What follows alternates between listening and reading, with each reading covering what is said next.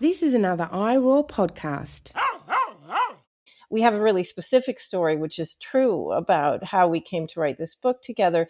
But I think that we decided to write this book and that it has this shape has in the background our shared conviction about the urgency of our circumstances. And so that that what would be relevant to do together which is what we try to do in animal crisis is demonstrate the possibility of doing animal ethics in a way that's genuinely oriented to and meaningfully addresses the desperate nature of the circumstances that we're in.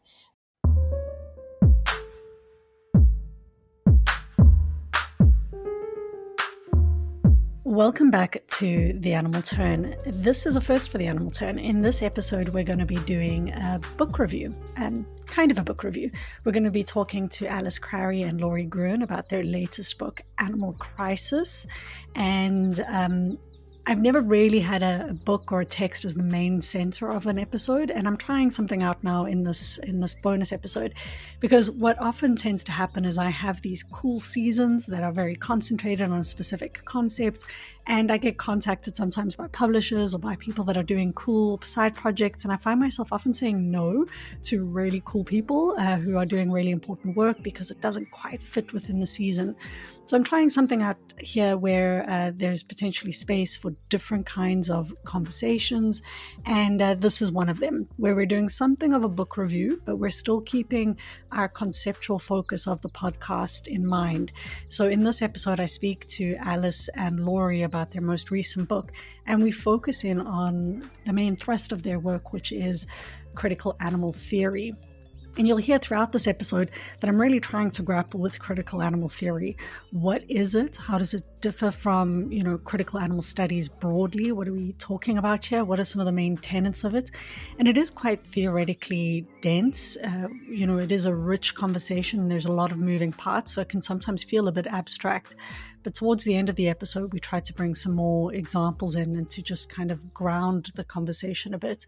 If you haven't checked out Alice and Lori's book, definitely go have a look. It's it's really um, it's really put together well. It's accessible. The examples in the book are I think they're really doing a lot of great work to kind of ground these theoretical and abstract conversations in the actual lives of animals to, to make the reality of kind of the environmental disasters, but also threats to biosecurity, concerns about health, um, you know, ideas about which animals are considered disgusting or not and what that does to their dignity all of these sorts of, I think, fundamental questions that animal studies scholars have been grappling with come up in this book. So if you haven't seen it, go check out Animal Crisis, a New Critical Theory. And that's kind of the, the focus of the conversation today. Uh, I think many of you have probably heard of Alice Crary and Lori Gruen before, but if you haven't, I'm going to give you a quick synopsis of who they are. Uh, Alice Crary is a university distinguished professor of philosophy at the New School, where she is a co founder and steering committee member of the Collaborative for Climate Futures. She was previously chair of philosophy at the New School for Social Research and the founding co director of the graduate certificate in gender and sexuality studies.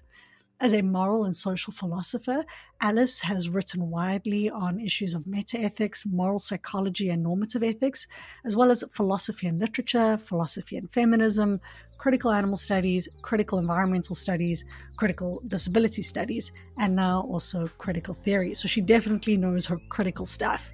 Uh, Alice is also the author of Inside Ethics on the Demands of Moral Thought, as well as Beyond Moral Judgment. If you want to learn more about Alice and her work, go check out her website, alicecrary.com. Now, Lori Gruen has been involved with animal issues as a writer, teacher, and activist for over 30 years.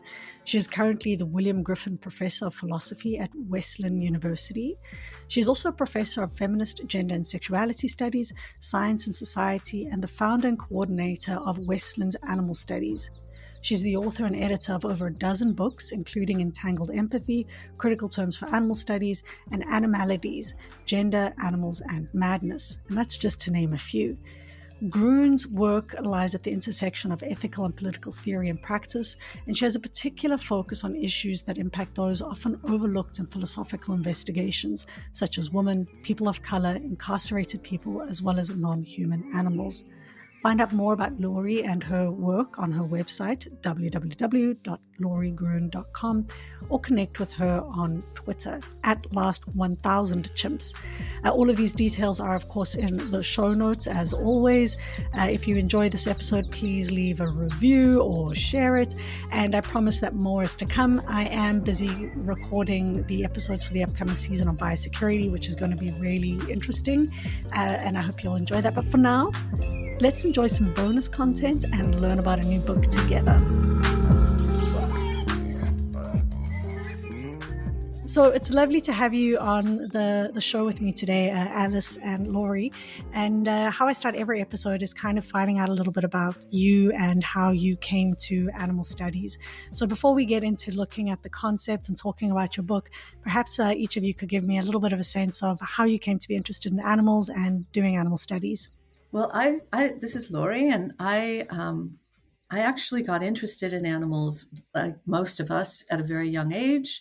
Um, but when I got into animal studies, it really was before there was animal studies. It was when uh, quite a long time ago in as an undergraduate i took philosophy classes and i was lucky to have a class that had animals as a topic in an animal ethics context and i actually um, became very fond of utilitarianism, both um, because I was an activist and the animal movement was primarily uh, informed, at least held up by some version of utilitarianism. And it was also something that I was learning about in philosophy classes, of course. It took me a while to realize that that was really not the way I wanted to go. Um, but I suffered through uh, the scorn of my friends and colleagues before I finally decided that, yeah, uh, this isn't going to be uh, a good sort of theoretical ground for me.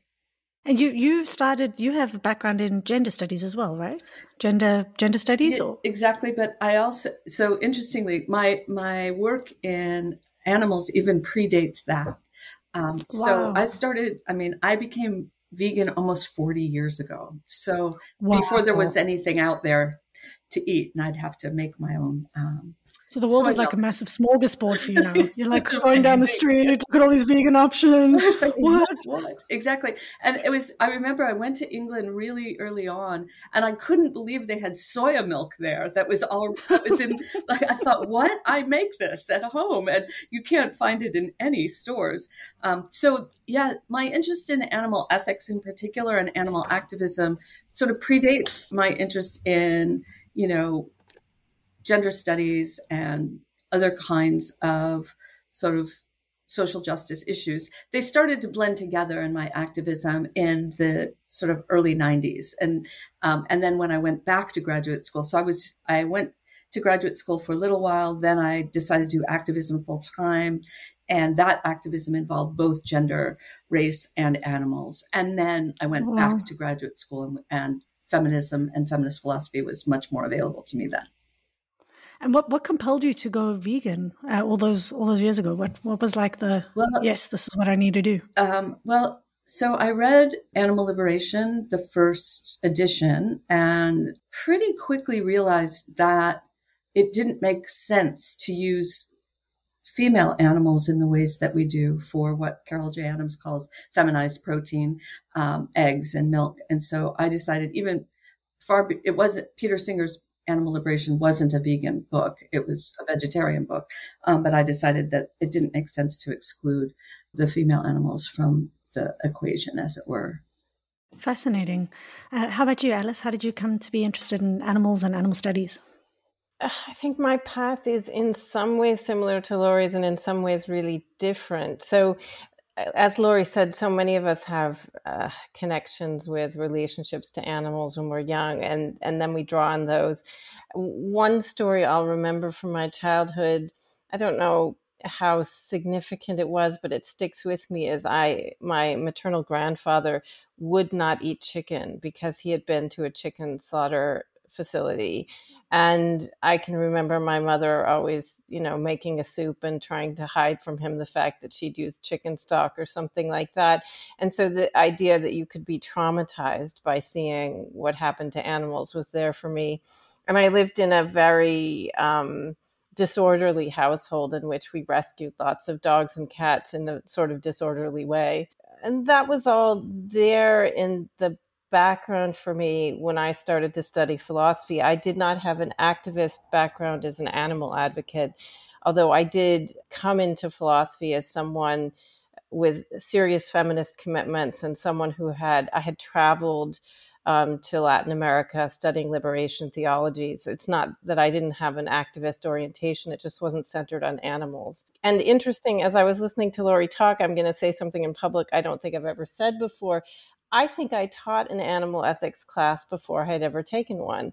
So I was interested. I, I, early on, by the time I'd finished my undergraduate studies in philosophy, at, which was at Harvard, I had come into contact with, although not met face to face, the philosopher Cora Diamond, and I was taken by um, animal animal questions in ethics, and taken by her approach to them and so when I went to graduate school in philosophy at the University of Pittsburgh, I wanted to teach an animal ethics class, and I figured out how to do it. Um, yeah, so I, am much more a second generation person than Lori is, but still, the animal ethics wasn't as common. And and Lori is one of the people who radicalized me.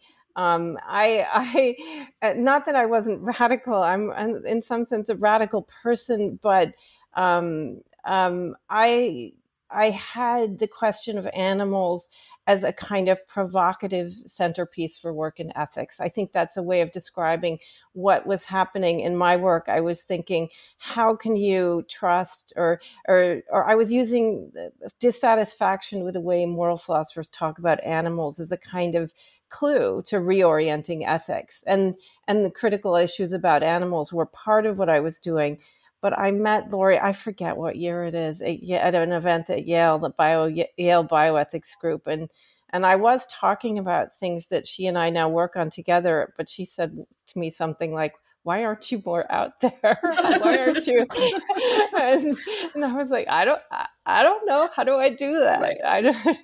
Um, so anyway, we have a we have a history somewhere. It's something like ten years ago, right. maybe. Yeah, I think maybe more, a little more than that, more like fifteen. Yeah, yeah more like was, fifteen years ago. Yeah.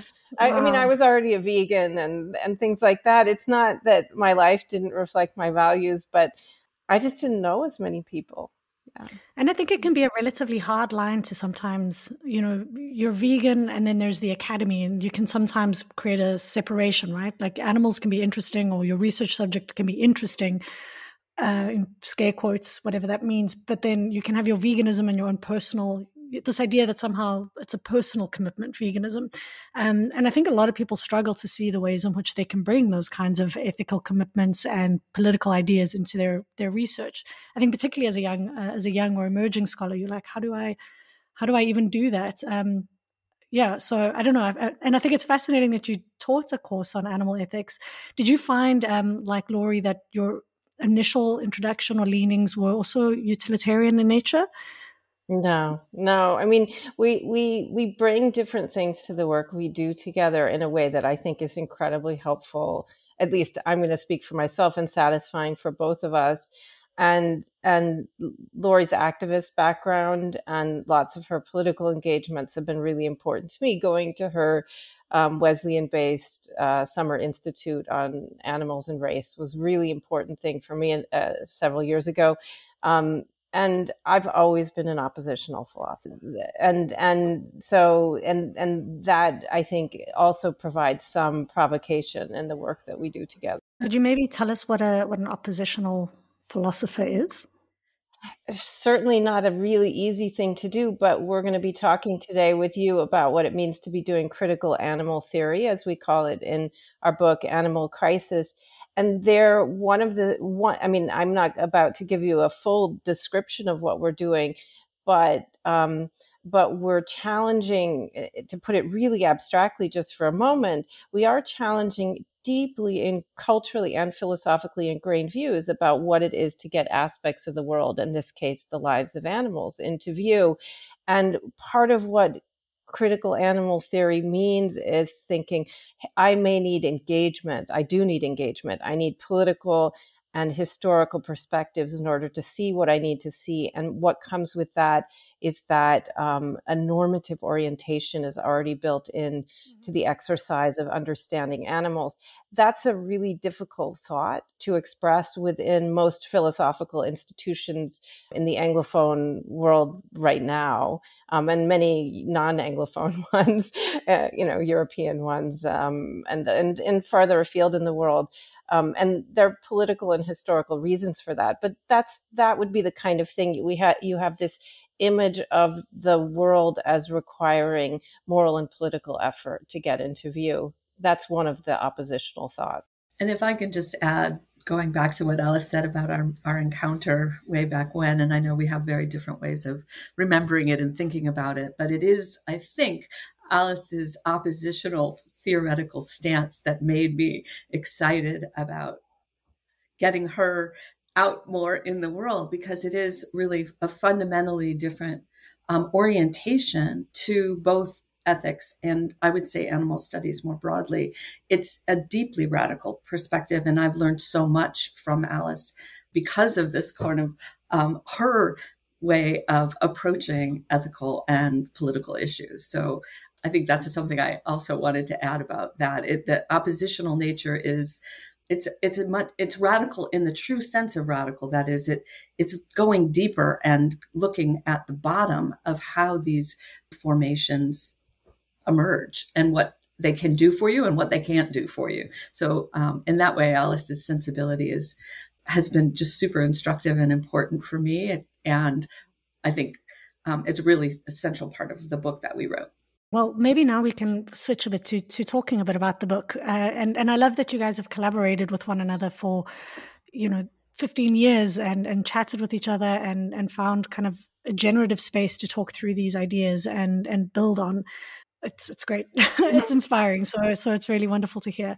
But talking about the book now, perhaps we could start with just a really broad general question about uh, what is the book about and what inspired you to write the book um, I'm going to talk just about writing the book together because it's something that I think neither of us has said quite yet, but is important for both of us, which is, and I think for a lot of scholars working on animals, the environment, there's this moment where you you recognize maybe in a way that you haven't before not merely intellectually how desperately urgent the circumstances of our the world we live in at this moment that we're in the midst of uh, in terms of human animal relations an unfolding catastrophe. And and w- one of the ways we tend to put it is something like the human devastation of animals and their habitats is something that now in our lifetimes already it, it's already happening has existential implications for all of life on earth human beings for animals and for all other organisms.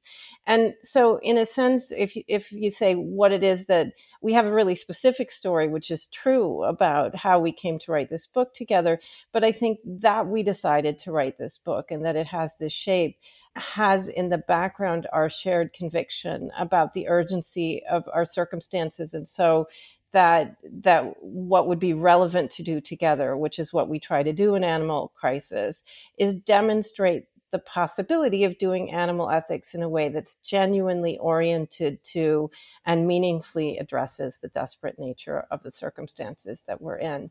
It's a very general answer, but I do think that gives a sense of what the book is about. Um, and I'm going to stop talking for a moment and see if Lori wants to say anything more specific about how we came to write the book, because there are real specifics too. Right, and we talk a little general. bit. We talk a little bit yeah. about them um, in the at the beginning of the book, and and sort of why we why we came to do it. But I think the other thing that's really important about why we wrote the book um, and why we wrote the book the way we did is that, as Alice just said, we're in a catastrophic moment, and you know, animal ethics and to some extent eh, less at less longevity animal studies has kind of been grappling with a, a, set of issues, but none of them have actually touched in a very deep way the crisis. And so, what we're thinking about is a way of sort of looking at structures that uh, are harmful to both humans and non-humans and trying to unpack those structures so that we can get a better vision of what it is that's at stake um, before it's too late mm-hmm. and it's, it's interesting that you guys use the word so you use crisis and catastrophe and and alice when you were speaking there you said a human animal relationship crisis or relation crisis and for me, that's kind of interesting in how you're using language because oftentimes we kind of use climate change as a shorthand or environmental disaster as a shorthand, which is certainly an important way of talking about this. But I've often struggled with how sometimes a focus on climate change can abstract some of the very specific specific ways in which we relate to animals. Animals kind of get usurped in the idea of what nature is or environment is, and um, and I really like that you're bringing to the fore that this is a relational uh, component and it's a specific one. Um, so I don't know if you have any any thoughts about that, and also perhaps touching a bit on why crisis is such an important component of your title. Yeah, I mean, I think you're exactly right. I mean, we talk about actually, we talk about the climate climate crisis. We talk about the environmental crisis, and as you say, the animal crisis gets kind of just sort of subsumed within those. And really, I think our view is that it really needs to be at the at the at the fore. And one of the reasons that crisis, I mean, there's there's interesting things theoretical things to say about the use of our, the term crisis. But on the one hand, it is a commonly used notion or word for the urgency of the matter, right? That there's an urgent problem that needs to be sort of attended to. But I think also in the context of thinking about crisis, um, one is called upon to act in the face of crisis. Whereas if you have a problem, then you need to find a solution. Um, and that's also true. We're not suggesting you just act randomly. But I do think that the notion of a crisis sort of elevates the motivation to do something and to do something quickly. Um, there's also a really important temporal element and we talk a little bit about this at the end of the at the end of the book and as I said a moment ago, I mean, we don't, we just can't sit around pontificating for too much longer. Too many animals are dying. Too many humans are being sort of grievously injured and excluded, and the planet's, you know, on the brink. So it's not a, it's not something that sort of we could see as a scholarly matter that we could spend, you know, a couple of decades trying to figure out what the issues are. And animal ethics um, has been around for 50 years. And unfortunately, more animals are used in industrial food systems than, than when animal ethics began. Um, by yeah. a large number. So we really, we really also think we need a change in orientation, a gestalt change, as it were, a perspective change. Yeah, different way of, of, of thinking. And you gave an a stat, um, a stat um, that just blew my mind in the book. At one point, you were speaking about pigs and uh, industrial slaughter, and what did you say? You said if if humans were killed at the same rate at which animals are killed, the human species would be extinct in 17 days, which is just, it's, it's kind of, I know it's a, it's a quick blurb, it's a quick snapshot of something, but it's really something that's stuck in my head. 17 days and the whole human species would be gone if we, if we, um, you know, did that to our own, which is just a, yeah, it's a huge, huge, uh, number. Sometimes we kind of get lost in the numbers. When we speak about animals, you, you speak in the millions and billions and you kind of forget the the details and that this is life and death in the truest sense of the word. Alice, I think you had something to say there. Oh, I was going to pick up on the notion of crisis, which is the the lead that you had in asking Lori this last question. Uh, I just thought it was important to to add to the really fantastic things Lori just said that uh, we're both talking about things that could be called individual crises. You just referred to one, um, sort of the deliberate slaughter of animals in industrial animal agriculture on land and on sea. We talk about other crises having to do with industry driven deforestation. For instance, for the palm oil industry, we talk about the trade in exotic animals. We talk about human insect conflicts and um, how humans have responded in ways threatening to all lives. So you could sort of list crises. But one of the one of the reasons the book has the title it does, this is something Lori and I have talked about, is that we want we want to bring out this is the way the narrative of the book works ways in which these crises are, are related to each other so that in a sense we are talking about one crisis. And so the idea of the animal crisis is one that we want to be developing and are developing. And I think it really came through in your writing, um, the complexity of, you know, a crisis or multiple kind of crises that are enmeshed with one another and related to one another. Because I think, I and I'm assuming this was intentional, but the way every chapter kind of ended alluded to the next one, kind of showing that they do bleed into and blend into one another. These these different uh, crises. Okay, so we've got a kind of general understanding now of of the book, the book title, Animal Crisis, and that it was a response to. Um, to well one the kind of urgency to do something and do something now and two a kind of uh, criticism or critique of animal ethics to some extent uh, in terms of how it's been thinking about animals up to up to date. So that's a really good kind of baseline for us to start talking about your main contribution in the book which was critical animal theory. Uh, so before i get into maybe more specific questions about that maybe you could just give us a synopsis of what is critical animal theory. I know you wrote a whole book about it, but uh, if you could just tell me in two quick, no, I'm joking. Um, Alice, go ahead. Um, yeah, I'm going to do this really quickly, and I know Lori will want to follow up and flesh out, but I think you're right. It's probably helpful to just outline it really quickly. So I'm going to do it in, I think, say three movements. The first is a presupposition, which is something we've been talking about already. So there's the presupposition that there are important structural ties between the devastation and killing of animals and the oppression of marginalized groups of human beings. So that presupposition of what we're doing gives us the idea that meaningful interventions on behalf of animals need to address such structures. And then I'm going to mention two further features and of critical animal theory and they, they really go so closely together it's hard to pull them apart one is simply that the structures that we want to talk about get ideologically obscured so that ideology critique, um, which is often not seen as part of animal ethics, becomes part of the endeavor. And the other is that this critique, sometimes it's conceived so that what needs to happen is you're, as it were, we're clearing away, obscuring obstacles to a neutral space, as if you could get back to some perfect place for discourse and vision and it's part of our image um, and it's important part of the strands of critical social thought that we're inheriting on behalf of our project that actually the kind of thought that we need in order to see both structures that harm and also animals themselves is going to be informed by historical and political perspectives. And that really is where you get the link to things, other things people have called critical theory. Theory here isn't coming up with a set of principles and then applying them to the cases of animals like a kind of applied ethics.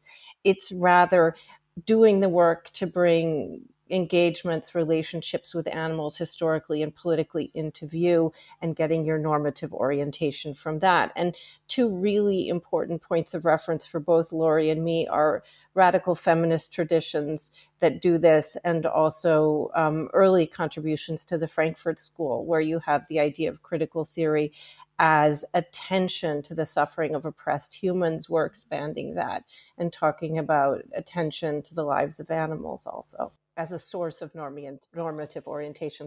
Yeah, I mean, I think another thing we we um, we should just sort of note by way of comparison, at least in the United States, is that there's been a re sort of birth of critical race theory and a whole set of politics around critical race theory. Um, and one of the things, I mean, it's a it's a rich theory, and the controversy minimizes and kind of mischaracterizes what critical race theory actually contributes to our understanding. But at its core, I think what it contributes is an understanding uh, that the structures that have emerged are exclusionary by nature on purpose. And the sort of historical and material conditions that Alice alluded to are very central to understanding how it is that racism operates so that it isn't an individual response to, you know, um, race, so I'm not a racist, is not going to help us understand the structures that perpetuate sort of racial exclusion and racial violence. And similarly, and we'll talk about this, I hope, a little bit.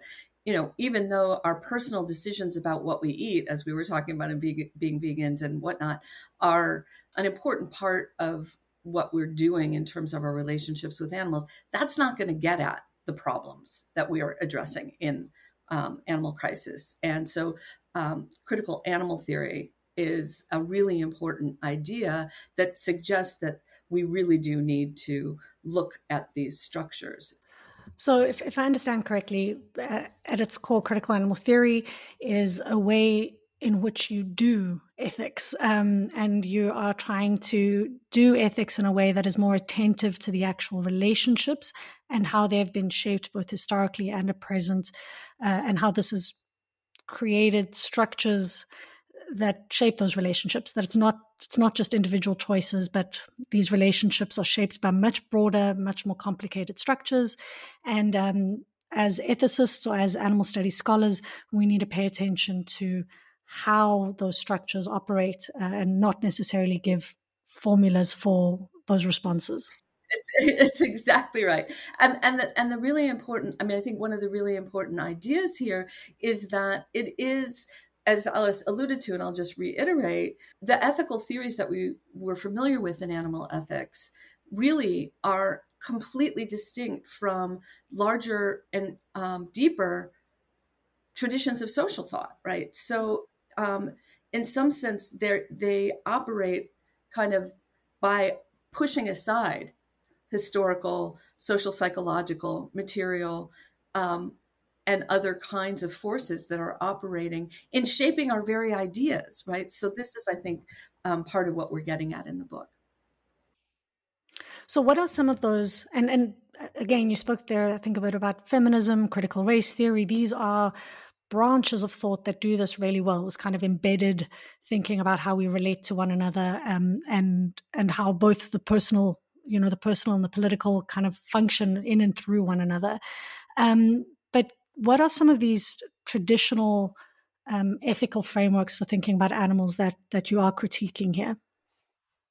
Well, I think uh, your listeners will probably be familiar with some of them, but we're we we um, we're talking about on the one hand roughly utilitarian influenced traditions in, animal ethics that focus on suffering, the suffering of animals, um, on how to to lessen suffering or how to um, um, increase um, enjoyment and pleasure in in animals, and that's on the one hand, and on the other hand. Uh, the way animal ethics is often taught, you have also in conversation with utilitarian influenced or welfarist approaches in animal ethics, rights based approaches, which are often focused on um, sometimes focused on on different sources of their accounts of the moral standing of animals, and then on on suggesting that animals have inviolable rights, either not to be treated in certain ways or to be accorded certain forms of respect. And I think I'm speaking for both of us in saying that for both of us, these traditions have have done important things. It's, this isn't a complete dismissal of the traditions by any means. And one thing that work in both strands of animal ethics has done is drawn attention in ways um, that that many members of the public's attention hasn't been on the plight of animals. But the kind of critique that we're talking about here, I can give an illustration of it with regard to welfarist or utilitarian oriented approaches is that suppose you know you're a utilitarian you're looking at the horrors of industrial animal agriculture and you're thinking how do i make a difference so that there isn't as much suffering? And some of the kinds of interventions that have been widely pursued among pro animal utilitarians are things like hey let's get larger cages so animals aren't packed and crammed together they as they are or let's eliminate cages entirely and those things in isolation seem really good. What could be wrong with minim, you know make lessening the suffering of animals? We don't think there's anything wrong. That's of course really important. But when you don't take a look at the larger systems uh, social systems historical um, structures into which industrial animal agriculture is integrated, there's a danger that by working with eh, industry and doing things like going cage free or making cages bigger, that what you're doing in effect, despite your best intentions, is perpetuating a, a, a set of systems and institutions that regularly reproduce horrible suffering and death of animals and and so so that, that the criticism turns out for us to be very, very important that you have to be looking at these systems, the larger systems.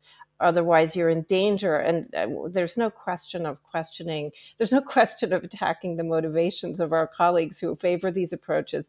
They, they, are, they are trying to make a difference. But the idea is that despite their best intentions, they can actually be contributing to the mm-hmm. perpetuation mm-hmm. of these systems. I mean, this this speaks a little bit to what you were talking about earlier when we were speaking a bit about your your backgrounds, uh, and also this idea of shifting the way in which you think, the basis of which, you know, what is it that gets animals into cages in the first place, um, and and how do we start to just reshape that?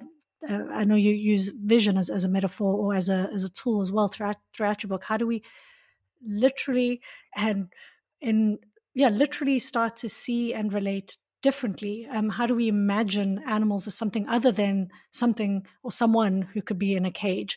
And, and I think that that's a very different question to responding to the existing pain. And it is, it's a radical and it's a hard, it's a hard thought to have. I think when your whole life you've kind of been told animals are things that are specific animals in particular, right? Chickens are things in scare quotes that go in cages and trying to think differently that no animals are creatures who are really sophisticated thinking beings who speak in a variety of different ways and have social relationships um, why would we want to put them in a cage is a very different starting point. And i just want to add that i mean i think that's another part of this that's really important to think about it as a way of criticizing the traditional theories and as Alice says, we're not completely criticizing in the sense that it was really an, emo- an important achievement to get people to pay attention to the suffering of animals and not think of them as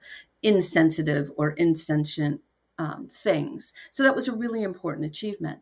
But at the core, and this is something that's really important for our, our work, is that there are these hierarchies in place, these um, systems of value that are in place. And usually it's very specific individuals with very specific capacities that are thought to be at the top of these hierarchies. Or you could think about it also as um, in a circle, an extended circle. And at the center of the circle are these individuals that are the most valuable for, for these different theoretical frameworks, utilitarianism and most rights based theories. And what you need to do, the, these theories suggest, is bring others into that center. So notice what it is that you have, what capacities are important for those at the center, and see who else has the capacities. And in doing that, you think you're bringing about something like equality or something like you know ethical engagement or fairness.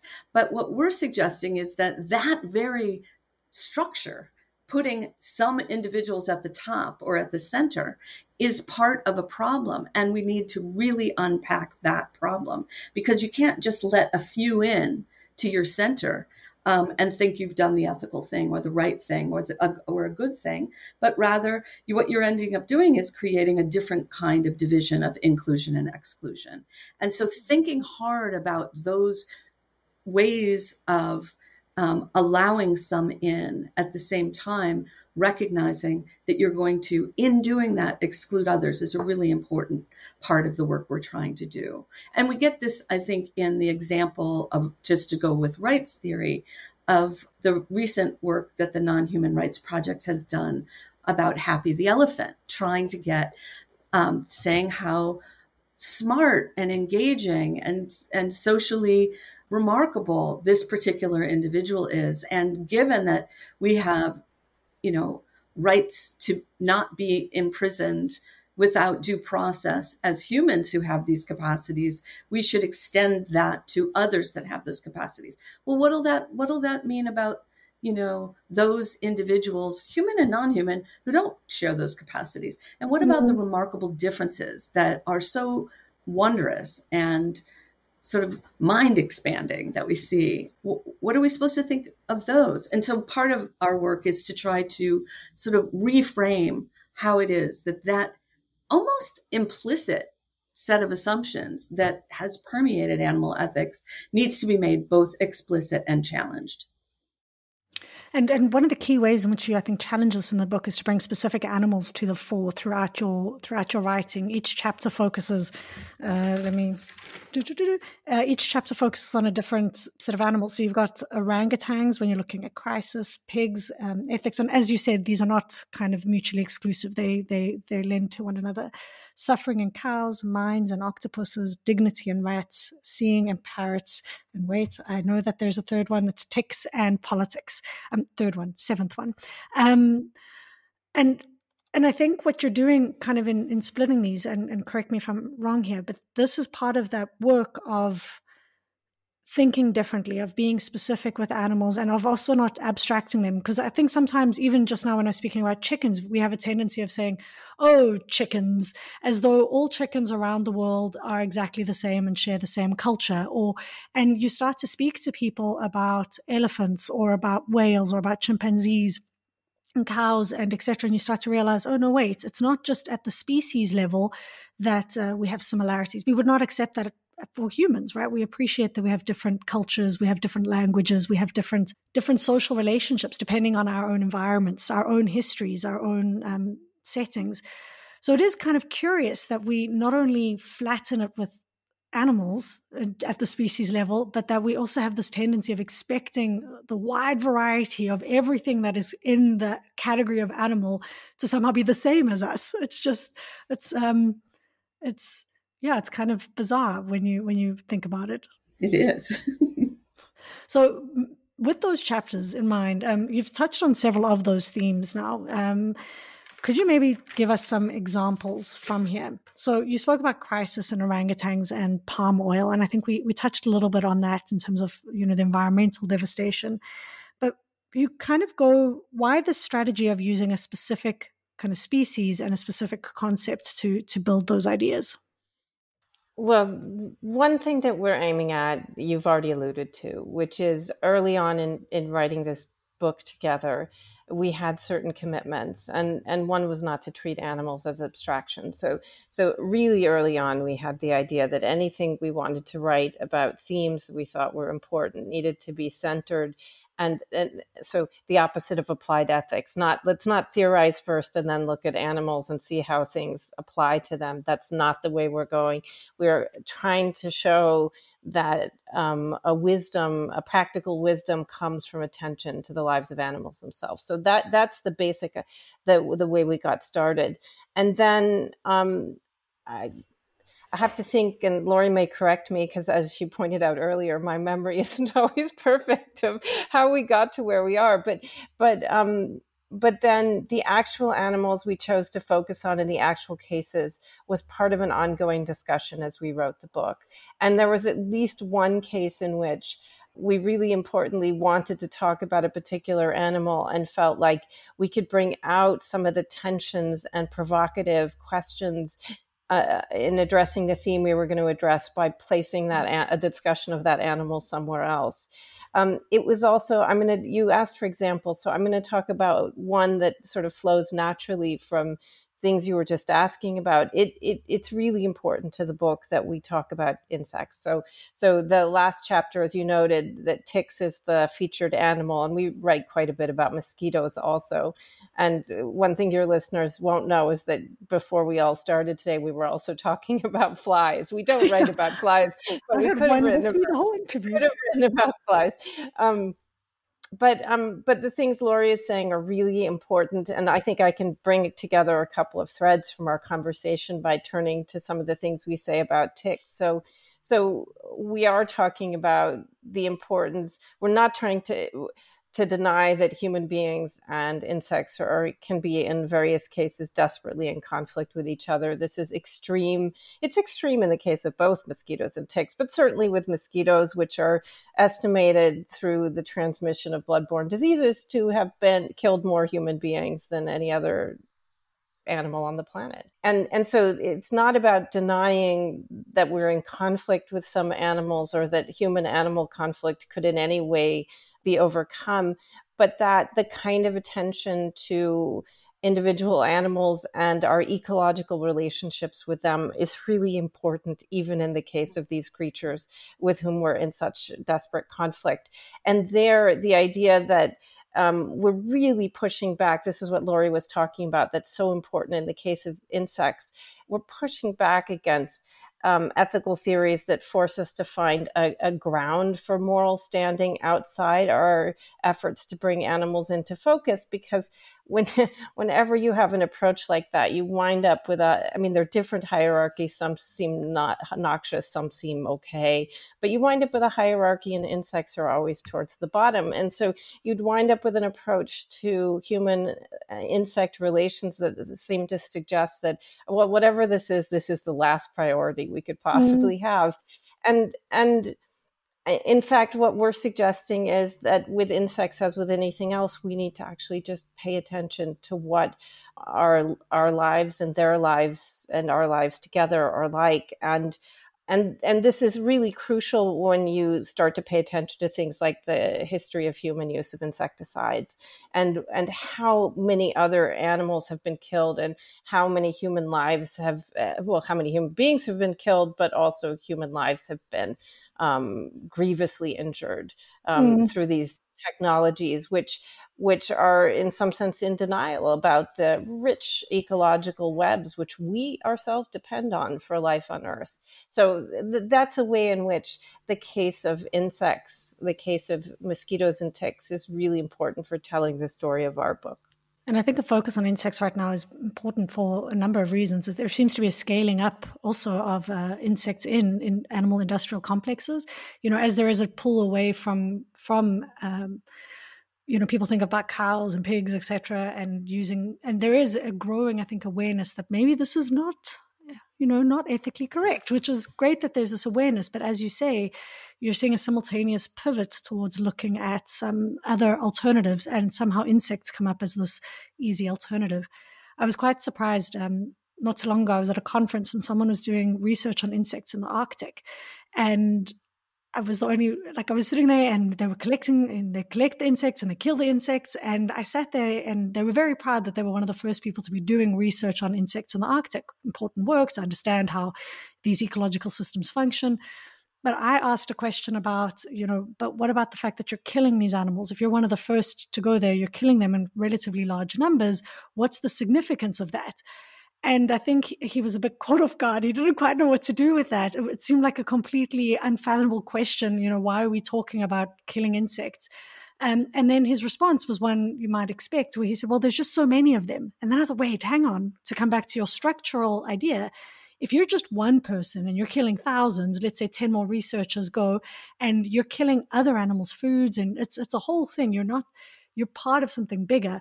And this for me is really an important reason for why I think philosophers, ethicists, uh, critical animal studies scholars need to be working together with physical geographers and physical scientists that are doing this type of work. Um, anyway, just a, a, a little reflection there because it does point to those structures and what what is allowed to pass through ethical reviews at universities and what's not, etc. Mm, yeah, it's also really important here just to mention just that there's growing attention to what's even called, I believe, the insect apocalypse. That the, the, the insects are actually, as as Alice was so poignantly putting it, I mean, we're ecologically so interconnected that if insects perish, we perish with them. And so mm um, this is a very strange thought that somehow, oh, well, we're just going to kill a few, um, because the the in, insects are dying in in really frightening, alarming proportions, and that has very profound implications for life on Earth. And um, so it's that it's a little bit shocking. And given how fragile the ecosystems of the Arctic are, it just seems, again, a kind of hubris that needs to be, I think, as you rightly point out, really needs to be challenged. Um, hmm. It's it's remarkable um, that that somehow, well, it's just me killing thousands of insects, so no, yeah. no biggie, right? Wow. But I think it speaks to exactly what some of the work you guys are doing here in terms of challenging how we think. That the very fact that the starting point is that this is a, an acceptable form of doing research, you know, to shine the light on ourselves as researchers as well and how we're part of these processes is super important. Um, and this makes me think then earlier on, you Rose, you spoke a bit about feminism and critical race studies. And now, obviously, I'm thinking also now about critical animal studies. Where does critical animal theory sit in relation to critical animal studies? Uh, what What are your thoughts on that? Yeah, so I mean, I think it's a really interesting question. It is a quite distinct notion. So just to to back up a little bit, um, there was a moment in the development of animal studies. Um, sometimes people called it human animal studies, um, and in that moment, um, there was this idea that you could just actually study animals, um, not study them by catching them and killing them, as you were just discussing, um, but by looking at the role they might play in literature, or the role they might play in history, or the role they play in economic systems, and not really. The idea was not really have a ethical or political stance um, that you wanted to articulate. And um, as Claire Jean Kim puts it, I think I mean, everything is political. So to not see this as political is itself political. And mm-hmm. um, I think that part of what critical animal studies was doing when it um, sort of coined or named itself critical animal studies was to say, yes, this is a political project, that we're here for the animals, just like in the early days of women's studies, now usually called women, gender, and sexuality studies or feminist gender and sexuality studies, that it's not just a study about how it is that um, women and other genders make their way in the world. It's actually about elevating the status, recognizing discrimination, recognizing exploitation, and challenging it. Um, so, critical animal studies is sort of suggesting that it's probably not a good idea to not take a stance on the terrible devastation that we're causing to other animals. I think that's how I would describe critical animal studies. And as we've been talking about, our view is tying critical the critical in our in our title or subtitle it bring is bringing it back to various traditions of critical social thought, ecofeminist, mm-hmm. um, other forms of um, sort of more deeper look at structural systems of anti-black racism and anti-violence against um, black and black people and other um, racial minorities, and just also the the workings of capitalism, right? So the idea that somehow there are um, in our current framework and in all forms of capitalist organization, there's a way in which we extract free resources that's necessary prior to the transaction of markets. And so all of that is part of the critical engagement that we're doing in in thinking about critical animal theory. Um, and so that's a little bit different than critical animal studies, as you can see, but it's not different in the sense that there is a very clear commitment to doing something. It's not, it's not simply that we're including animals now in our a, so supposedly apolitical investigations, which of course are themselves, as I said, political. Okay, no, that's great. So, so critical animal studies is. I, I, so I'm just trying to make sure I understand. So critical animal studies is a much, I think, bigger kind of set. You can have a variety of people doing a variety of things in critical animal studies. They're just committed to putting animals at the forefront of their thoughts and focusing on the ways in which relationships may or may not be exploitative. Critical animal theory, uh, which you're developing here, is perhaps a bit more specific in that you are advocating for a not only a focus on the animals but a focus on the structures that continue to allow for these relationships to continue. And part of that is focusing on things like the ways in which animals are abstracted the ways in which um, our discussions about them are made neutral. But it's how we do that research needs to actually focus on structure and we need to make sure that we're focusing on that. Yeah i mean another way of putting this and i, I think that's exactly right is and i'm just going to bring in an, another topic that alice and i work on. So there's critical animal studies folks that are working in what gets called effective altruist movement right? They're actually trying to make changes for animals.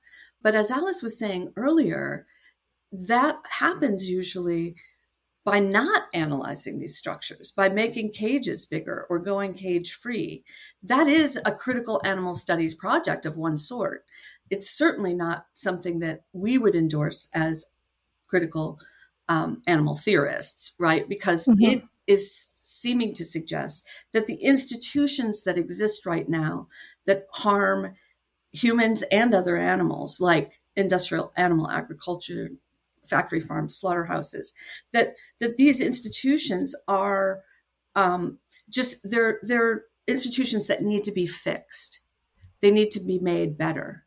Um, and from our point of view, these are institutions that are working precisely the way they're supposed to work to harm others. That's their point. That's one of their mm-hmm. points, I should say, to make money. And that to make money is ultimately to use others as fodder. And so, I mean, they are part and parcel of uh, a corporate capital system that has a very specific purpose. And we see this in the in the very real fact that there are maybe six multinational corporations that control most of the food stuff that we eat. So, sort of, it is the case that you're actively doing something. You're not just pondering in the way that mm-hmm. some, that division between animal studies and critical animal studies somehow is represented. Animal studies folks are scholars that are sort of pondering these things, whereas critical animal studies folks are trying to do something to make the world better. And what we're mm-hmm. saying is, yeah, you can't just keep the institutions and structures that exist and think you're going to make the world better because those structures and institutions that fall out of those structures are designed to operate in these violent, exploitative, harmful ways. Mm-hmm. And they're incredibly adaptable as well. They have ways and means of, uh, you know, greenwashing. Like all of a sudden, Dove is selling women's products, being like, "You can be beautiful, yay feminism!" And you're like, "Wait, hang on, isn't there? There are you know, so capitalism and and these structures are incredibly adaptable." And I think that this is where philosophy and philosophers such as you uh, are really important because how we think matters. Um, it really does matter in terms of how you relate to the world, the ways in which you look at the products you pick up, the decisions you make as individuals but also the decisions you're able to make able to make. What laws and policies and structures uh, actually allow for any decisions to be made. Um, and i think that this is really powerful and important work so thank you so much. Um, I, I, do want to get to the quotes in a, in a little while but before i do just uh, i guess two quick questions because this is related to uh, animal studies. One so we've got a view now, I think a really good view of, of critical animal theory, uh, what motivated it, some of the core tenets that you that you're working with, particularly methodologically, and some of how it's different from other animal studies um, kind of categories. Who is this book for? I guess is this like a popular media book, or is this a book for animal studies scholars? And do you think that it could be used in the the classroom, and if so, how? Yeah, I think this. I think we. I mean, we wrote the book for everyone. Um, I think that was the idea that we wanted to make the book an intervention that would be accessible. And so the general public who might be, you know, interested in these topics, certainly activists um, are people that we're hoping might benefit from or enjoy reading the book. But it's also, I think, going to be really useful in classes. I'm going to teach it in the fall.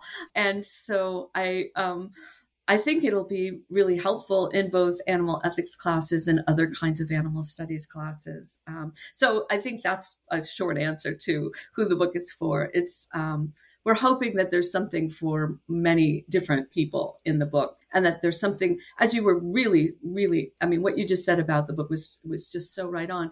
And I think what we're hoping is that it is a prompt for rethinking these really profound and difficult crises that we face. I think it's going to be great in classrooms. And again, I think how you've broken up the the chapters, like octopus and mines, there is a big debate and discussion happening now about octopuses and mines, and then rats and dignity. I think, you know, you speak to a lot of the conversations that are happening in a lot of the literature. So even just as someone entering in animal studies, I think it's a it's a good book to kind of I mean, why not? As you're, if you want to think about the structures, why not start with a book that kind of gives you a good overview of a lot of the literature and um, and some of the key debates that that's in it. So, Thank you so much. I don't know if you have anything to add here, Alice, before we go to quotes. Oh, I thought Lori did a great job. I, I do think I think it's important to emphasize both that it's written to yes to be accessible to anyone who's interested, and it also doesn't shy away from giving readers an overview of some of the theoretical debates once you get past the stories so you can you can glide into the stories which really any reader can take in um, cases of particular animals and human animal conflict. Anyone can follow them. But then, if you are taking animal ethics classes or interested in what's going on in the field, we will, you know, back you into a tour of that. And so that's there for the person who's interested too, but I hope not in an off putting way. And then, of course, there are now podcast episodes that can complement the book and uh, act as a useful resource in your classrooms. Shameless plug. Um, no, it's it's great. Thank you so much. And and just quickly about the stories because I've been thinking a lot about stories in my own thesis as well, and I, I really do appreciate how you kind of jump between focusing on individual stories, then speaking about the broader kind of structure, economies, and then slipping back into the individual. Like you could see that you were doing thoughtful work there in terms of those the scales, the multiple scales that are involved in in these stories and these problems. Um, okay, so quotes. Uh, at the end of every episode, we give folks uh, an opportunity to read a quote. It can be a quote from their own work uh, or someone else who's inspired them, uh, and that's just to yeah, it's just fun. I, we like it. So, uh, Lori, go, so go ahead. One of the things, one of the quotes that I wanted to um, use is both from our work, but also it speaks to the work of another really wonderful writer. Um, and I just wanted to say this about our book too, is that we think it's really crucial in thinking otherwise, being able to think about these issues in ways that maybe um, other theories don't allow you to do, is to draw on literature and to draw on art and to draw on film and to draw on um, ways, other ways in which um, we animals can come into view.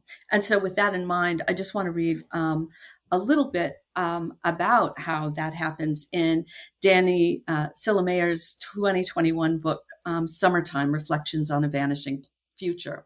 And it was written in response to the devastating Australian bushfires of 2019 2020. And it provides a powerful account of the experiences of pigs and other animals that she lives with that helps us shift our perspectives telling us that she cannot grasp, quote, the enormity of the devastation, end quote, that the fires brought, quote, not only to humans, but to other wild and domesticated animals. She sets out to capture the tragedy, not by counting the billions of animal lives lost, but by evoking the toll that the death of one uncountable pig, Katie, took on her companion Jimmy. Katie and Jimmy were survivors of industrial animal agriculture, having been discarded as wastage at three years, three weeks old. Activists scooped them up, tiny and starving, from the factory farm floor where they'd been left to die. And the two of them were then cared for, protected, and loved by a woman that Celermajer calls M. Before moving, at four years old, now huge yet timid, to the sanctuary that Cilla runs with her partner, Katie and Jimmy retained the closest of companionships. In late December 2019, as the fires were threatening their sanctuary, Cilla and her partner arranged to have Katie and Jimmy return temporarily to M. That's when disaster hit. Although the sanctuary remained untouched, a ferocious fire that enveloped M's place descended upon them from three sides, raising their home, turning the fields to ash, and killing Katie, with Jimmy somehow surviving. She writes about the morning after Jimmy came home.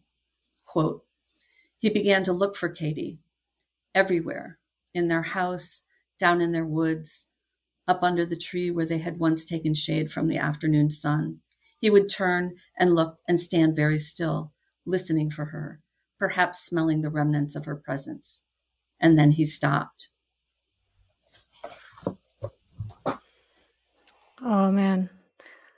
And what a powerful story. And and for anyone who's interested in hearing more or listening more about that, I know uh, Siobhan O'Sullivan did an excellent ad, uh, advert. It did an excellent uh, interview uh, about these fires, and it's just yeah, it is personal and it is real for the animals who are involved. And, and I think she does such great work kind of bringing that to the fore.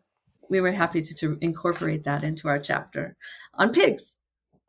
I was going to ask whether it would be possible to read a very brief, very different kind of passage um, from yep. the book. Also, I wanted to read a passage in which we talk about animal dignity, which is a central concept for the book. And I'm not going to try and explain why, but um, but it's the idea of moral standing uh, revealed by attention to animals, in virtue of which animals are vulnerable to wrongs beyond harms that they themselves can register.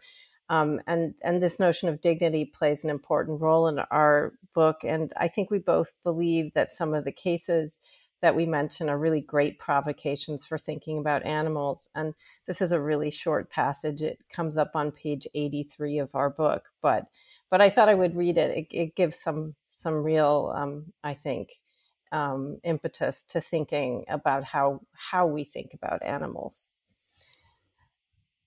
Not every wrong we do to animals is acknowledged by the animals themselves. Human beings sometimes treat animals wrongly in doing things to them that don't obstruct the exercise of any of the animal's capacities and don't interfere with any of their activities. This was true of staff members at the Moscow circus who dressed a bear in a frilly pastel apron and made her walk around on her hind legs pushing a baby carriage. Making the bear an object of mockery was a form of disrespect over and above the wrong done by holding her captive and making her perform, however unaware the bear herself was of the mockery. Similarly reprehensible was the conduct of researchers at the University of Pennsylvania Head Injury Laboratory who ridiculed baboons on whom they had inflicted grievous head trauma, as seen in a video the researchers themselves filmed. Subjecting the baboons to ridicule represented an additional type of disrespect. Beyond the great physical harms they were made to suffer, a further wrong, not diminished or qualified by the fact that the baboons weren't aware that they were being mocked. Now, I'm interrupting my reading to say that we had the passage I just read is one that follows a discussion of rats in our book. And we close this passage by returning to rats in the following way.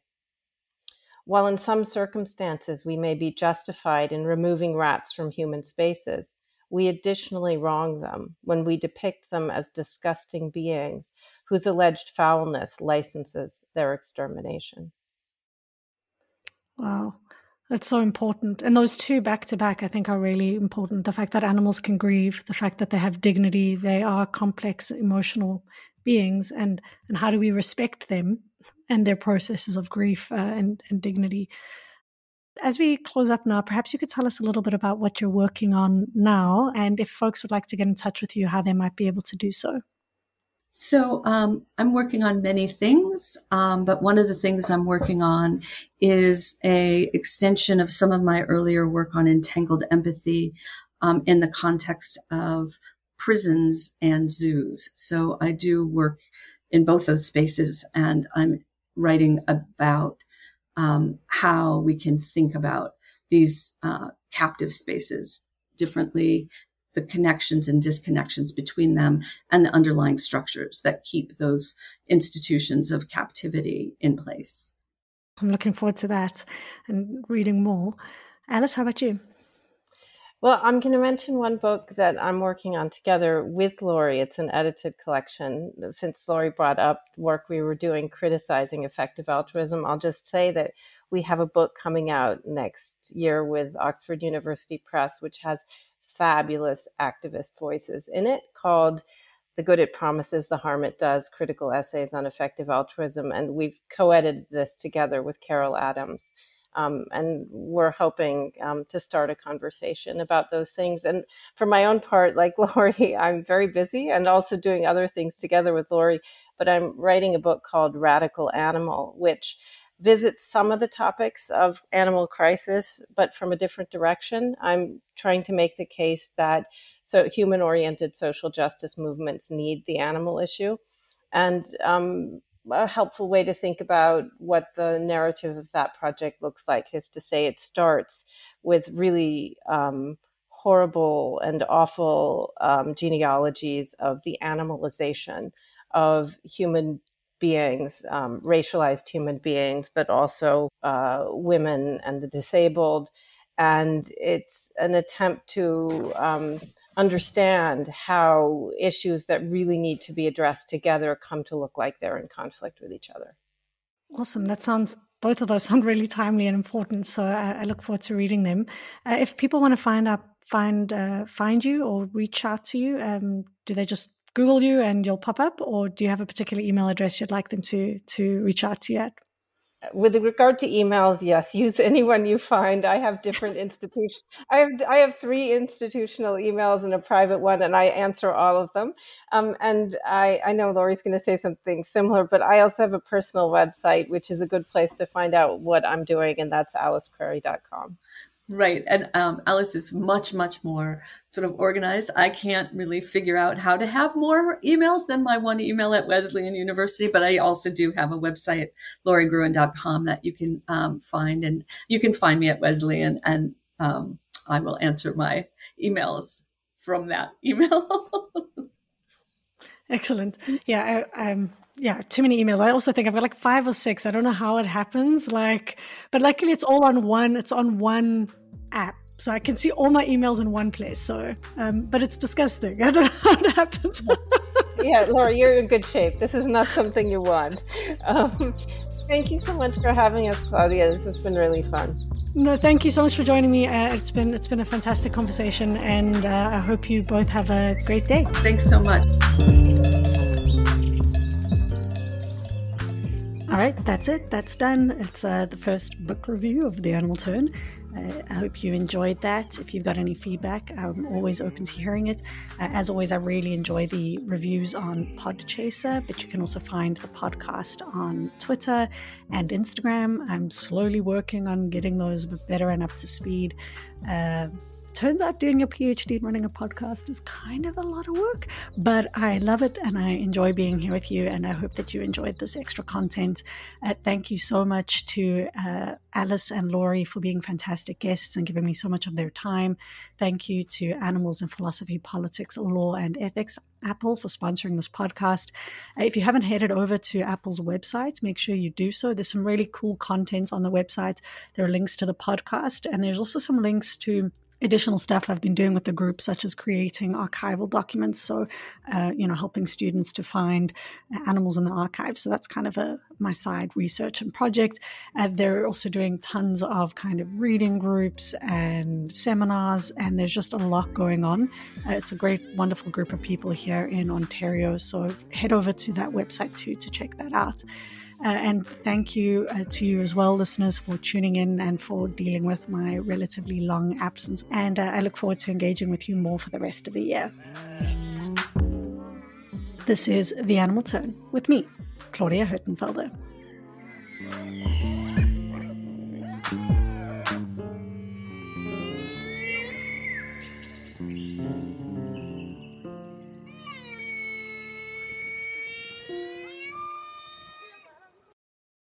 For more great iRaw podcasts, visit iroarpod.com.